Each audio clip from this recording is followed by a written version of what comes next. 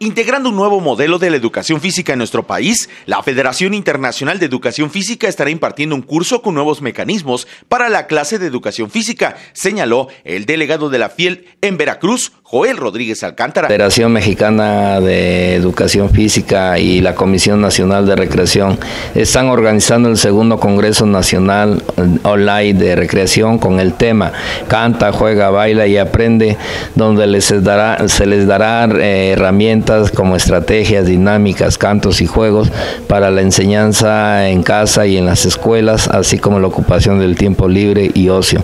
Señaló que es un curso gratuito que busca actualizar a todos los educadores físicos, ya que tras la pandemia se aplicará en clase nuevos mecanismos. Los a que se integren a los grupos de trabajo, ya que esta Federación Mexicana y a través hoy de la nueva organización AMESCO estaremos actualizando y capacitando a todos los maestros de educación física de México. Los interesados deben de comunicarse a través de la página de Facebook FIET Veracruz para recibir informes.